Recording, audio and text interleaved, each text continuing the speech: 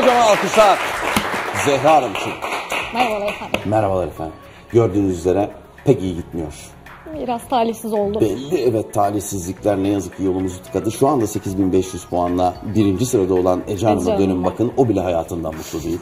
O yüzden bize bir kahraman gerekiyordu. O sizsiniz. Estağfurullah efendim. O sizsiniz Zehra Hanım. Elimizden geleni yapmaya çalışacağız. Hadi hayırlısı bakalım. Biraz da kendinizi anlatın. Neler yaparsınız? Ee, neler yaparım? Ben grafik tasarımcıyım ee, aslında ama şu an herhangi bir yerde çalışmıyorum.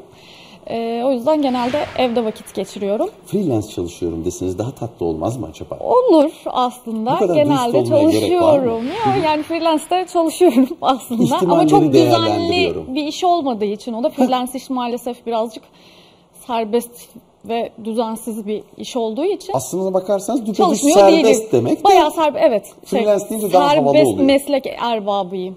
Hah, lazım olan. Ben de öyleyim. Ben de serbest meslek Doğru. erbabıyım. Değil mi? Doğru, En evet. güzel şey şu dünyada.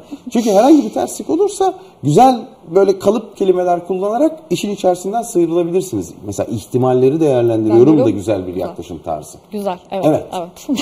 Tabii. Burada da aynı sistemi uygulayalım. Her şey yolunda giderse zafer bizim zaferimiz. Kötü giderse kaderi suçlayacağız. Canımız sağ olsun deyip Yapılması gereken o. Başlasın mı? Başlasın. Hadi başlasın. Bir solukluk ses, seslem. Dört harfli. Bir solukluk ses. Türkçe'de en fazla dört harfli olabilir bu. Bir solukluk. Yani tek seferde çıkarabildiğimiz ses. Tek sefer. Bir solukluk ses. Ünlem gibi sesler geliyor aklıma ama onlar Tek, böyle tek bir- bir Seferde çıkarabildiğimiz. Mesela sefer derken iki defa da çıkarıyorum ben. Hece. Hecedir o. 400 puan değerinde. Bir insanın kafası karışıyor. Karışıyor. efendim. Bu bilinsin lütfen. Buyurun yenisi geliyor. Bu biraz daha zorca. Dikkat. Tamam. Koçaklama denen halk edebiyatı eserlerinde konu edilen kahramanca mücadele, çarpışma. Aynı zamanda bir erkek ismi bu. Cenk. Nedir? Cenk. Güzel. Daha rahat ettiniz. Ne güzel oldu. Şiir seversiniz. Severiz. Ne güzel. Buyurun bakalım. Türk şiirindeki garip akımına da yön vermiş olan Ağrılı Deri Tümseyi. Pek şiirle ilgili değil. bu. Sevdiğim yerden değil. Ağrılı deri tümseyi. Evet.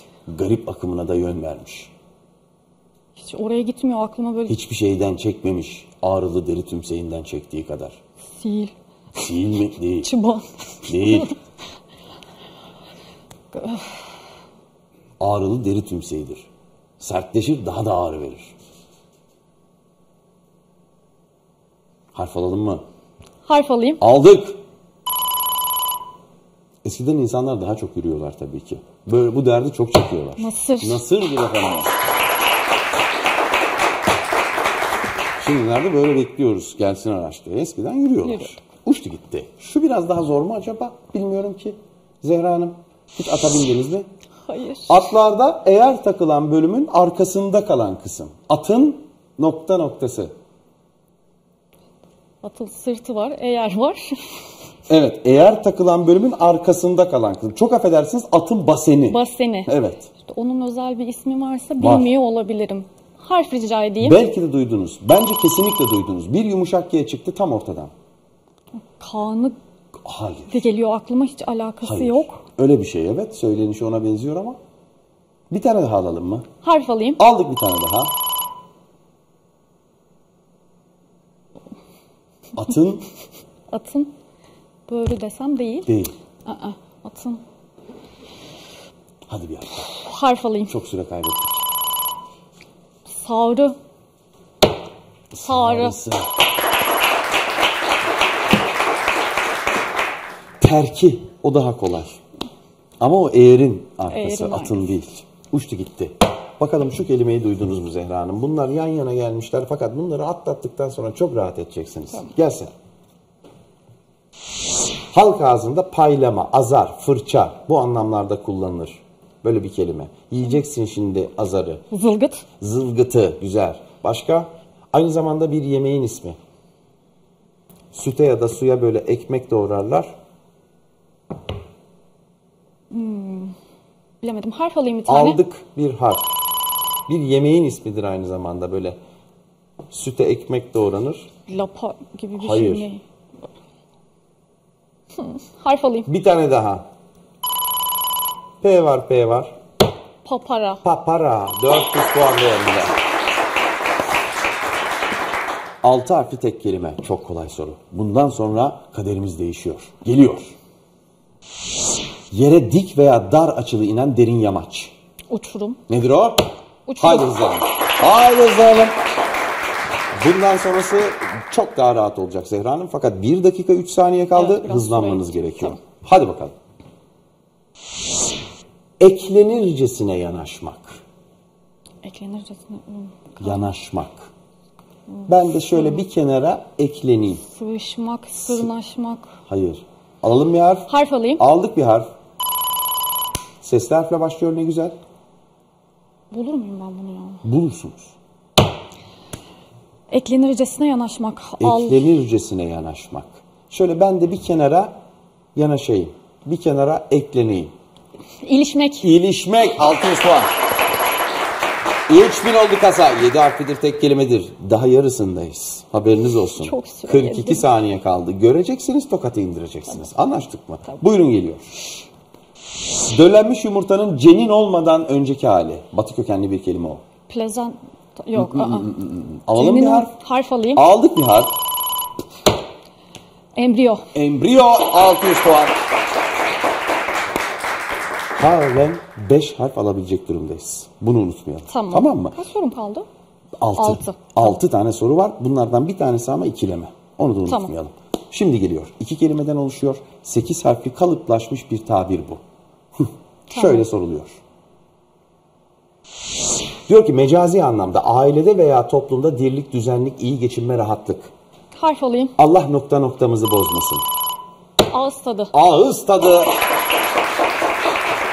Harfi aldığımda vazgeçmişti Zehra Hanım ama çok geç. T çıkmıştı bile. Burada almaz. Burada almaz efendim. Bu bir ikilemedir. Bolca, çokça anlamında rahmet okunurken sıkça kullanılan bir ikileme.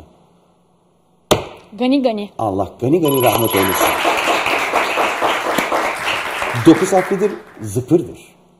Sever misiniz? Genelde severim. Seversiniz. Beni Pek üzmez güzel. de şu an. Hadi bakalım. Batı kökenli bir kelime. Sportif gurbet diye sorduk. Hem spor. Olimpiyat. Durduralım mı? Olimpiyat. Kesinlikle değil. Peki. Ama o süre öyle akıp gitmemeliydi. Gurbet. Gurbet. Sporcuyum, Durdum. gurbetteyim. Olimpiyatlara gitmişim. Hayır. Hayır. İşte gitti şu an. Çünkü Gitmez. aklımda o vardı. Gitmez. Gitmez. Bulursunuz. Ev sahibi değilim yani. Deplasman. Nedir efendim? Deplasman. Gitti mi? Gitmedi. İki kelimeden oluşuyor. Dokuz harfli cevapların sonuncusu bu. Sizin 8 saniyeniz var. 4 harf alabilecek durumdasınız. Tamam. Acaba Üçte soru 8 kaldı. saniye 4 harf almaya imkan sağlar mı? Onu merak ediyorum. Pek zannetmiyorum. Ben de. Hadi bakalım. İki kelime. Unutmayalım. Uzunca bir soru hızlıca okuyacağım. Hatta okumaya başlıyorum bile. İletişim kurmakta güçlük çekmeyen, ortama uyum sağlayabilen, sosyal ilişkileri güçlü. Harf mi istediniz? İstedim. Evet istedik. İletişim kurmakta güçlük çekmeyen, ortama uyum sağlayabilen, sosyal ilişkileri güçlü. Nasıl bir insan? Nasıl bir insan? Konuşkan Yabani değil. Do iki kelime miydi? İki kelime. Dost. Dost canlısı. Aa, gitti. Sosyal bir insan. Sosyal de denebilir. Böyle yani kapanık değil. Dışa dönük. Nedir? Dışa dönük. Dışa dönüktür. Çabuk mu vazgeçersiniz Zehra Hanım? Değil aslında ama Asla yapıştırmam öyle bir şey size de o Tamam, yüzden peki. söylüyorum. Vazgeçmeyin. hemen kendime geliyorum. İki kelimeden oluşuyor. MMA diye bitiyor. Bakın şöyle soruluyor. Sondan bir önceki soru. Kazanç sağlayamama, biriktirdiğini sermayesini harcama anlamında bir tabir. Kalıplaşmış bir tabir. Harf mi istediniz? İstedim. İstemişler. Kazanç sağlayamama, biriktirdiğiniz sermayesini harcama. Yeme. Hmm. Ne yeme? Sonu yemeyse eğer altı harfli bir kelime arıyorsunuz. Evet. Ee, para yeme değil. Yani Parayı bu dükkanı yeme. açalı 6 ay oldu inanır mısınız Zehra Hanım? Cepten yeme. Hep cepten yiyoruz. 900 puan. Harfi ben istemeyeyim isterseniz. Tamam. Çünkü iki tane alabilecek durumdasınız. Basmadan süre, süre bir harf deyince siz ben... Ben demiyorum ki. Doğru. Süre. Doğru. Süre. Pardon. 3 saniye kalmış. Son soru mu bu benim? Son soru son cevap. Tek kelimeden oluşuyor. Bir harf alabilecek durumdayız. Aslında iki harf alabiliriz de efendim sığmaz. Sığmaz. Haberiniz olsun. Ben harf alayım deyip bassam ayıp olur mu? Hiç ayıp olmaz. Tamam. Yani yoksa çünkü ben harf aldınız mı demek durumunda kalıyorum. Ece Hanım'a daha çok ayıp oluyor. Doğru, haklısınız. Hadi bakalım. harf alayım. Heh, sayım biliminin yaygın kullanılan Fransızca kökenli adı. Tek kelime. Sayım bilimini de kullanmıyoruz. Sayın Bunu bilimi. kullanıyoruz Evet biz. sayın bilimi ne ola ki? Bilemedim şu an. Okulu var. Dört senelik okulu var.